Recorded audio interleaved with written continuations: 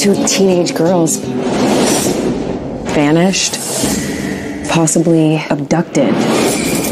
What are the odds? They give out odds on that sort of thing. You keep playing where you shouldn't be. 12 missing females, These boots are made for all within a 100 mile radius. That's just what they'll do. Trust me, things are about to take an ugly turn. So we just wait? No, we do not wait.